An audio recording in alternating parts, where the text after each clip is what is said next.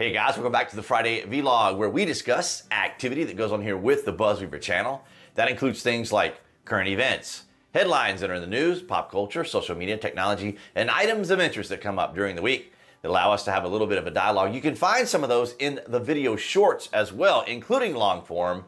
But I want to thank all of you guys across New Tech as well as here on YouTube for your guys' continued support. We start things off from the Hill. 40% of U.S. climate emissions attributed to richest households study. Oh boy. The wealthiest tenth of U.S. households are the source of 40% of national greenhouse gas emissions, according to research published in the journal PLOS Climate. Researchers led by Jared Starr of the University of Massachusetts Amherst analyzed three decades of household income data from 1920 to 2019. They found that during this period, the bottom 90% of households' share of emissions has fallen, while the top 10%'s share has increased.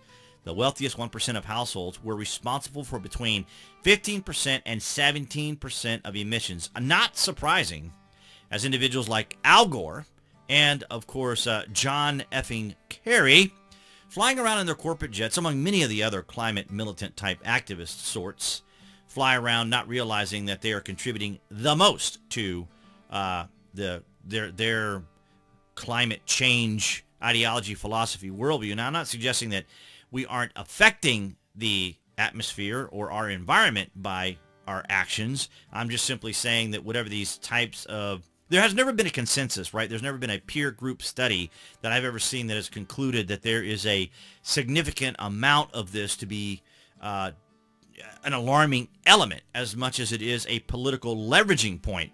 Because as you know, China is one of the biggest contributors to this. And very little is ever said to them, much less from Greta Thunberg. Report, China emissions exceed all developed nations combined. That's absolutely right. The research by Rhodium Group says China emitted 27% of the world's greenhouse gases in 2019. The U.S. was the second largest emitter at 11%, while India was third with 6.6% of emissions, the think tank said. So, ladies and gentlemen, I find it fascinating that the wealthiest who have always been talking about climate change, many of the wealthiest when they go to various uh, organizations and groups around the world and talk about climate and these things, or of course, are flying around in their jets, like Davos when they go there.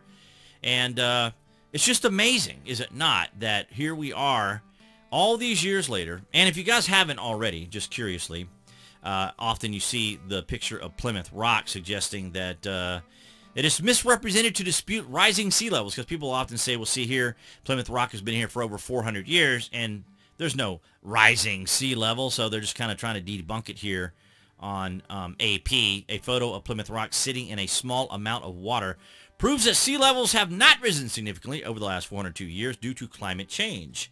AP's assessment, false. It says Plymouth Rock has no, has not remained in its original location over the centuries, and the sea level rise has been well documented in the surrounding region. Really, I've not seen any data on that except, uh, myself. Experts say, of course, experts say a lot, especially during the pandemic, and they got a lot of right, or they got a lot of that wrong. So um, you don't see hear a lot about that. In addition, the photo also does not take a regular tidal fluctuations. Well, of course, regular fluctuations is just like climate, right? It's just like weather. Weather changes, situations changes. The climate and or the environment on the earth is constantly changing and has. We've had ice ages before too. So it's just kind of interesting. I've never really jumped on the whole climate thing. You know, I'm obviously a conservative, but I'm also a conservationist, so I believe in being responsible. I mean, that's part of what uh, I was doing as a Boy Scout. You know, you learn just the basics of taking care of your environment. Personal responsibility, ladies and gentlemen, and not uh, messing up your own environment, messing up your own home. But uh, I just just wanted to stop by and check in and see how climate change and what the latest news is. Interesting that they're going after the rich now, which I find kind of fascinating. You guys have to let me down in the comments what your particular thoughts are on climate change or global warming. Of course, they changed it from global warming to climate change because, of course, uh, there is no consensus. There is no peer group studies that I have read where there's a, a consensus among scientists that this is uh, some extreme danger that we're facing. Now, of course, it's important to be responsible for the environment. And if we continue in certain directions, like with China, for example, you know, obviously this is going to impact our environment when you're introducing, uh, uh, you know, just fluorocarbons and other things into the environment. But China is probably one of the biggest polluters for sure. But nonetheless, guys, let me know what your thoughts are down below. And that's what I had for you this Friday. All right, guys, so that's going to wrap it up for this Friday vlog. Thank you for the likes, the shares, and the comments. And of course, below this video, you can find my Amazon influencer links. So if you're a regular user of Prime and or order frequently from Amazon, be sure to use those links as those help out the channel. And all of you on New Tech as well as here on YouTube, you guys have been amazing. Thank you for all of your support. Appearing there on the screen, that would be the channel icon you guys can click on to subscribe, as well as to select notifications. And I'll see all you guys right there behind the Galaxy phone camera next week.